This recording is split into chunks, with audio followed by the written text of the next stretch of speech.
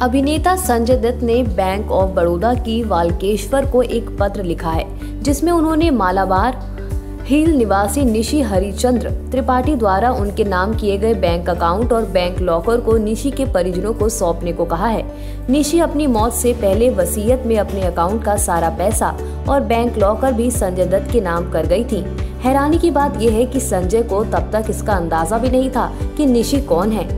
जब तक उन्हें 29 जनवरी को इसकी जानकारी देने के लिए पुलिस का फ़ोन आया। संजय से कहा गया कि निशी का निधन हो गया है और वह अपना बैंक अकाउंट और लॉकर उन्हें सौंप कर गई हैं। लंबी बीमारी के बाद 15 जनवरी को निशी का निधन हो गया।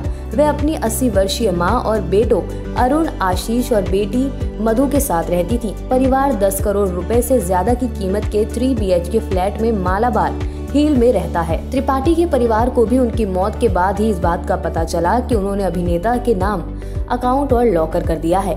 न्यूज़ रूम से फिल्मी अड्डा की रिपोर्ट।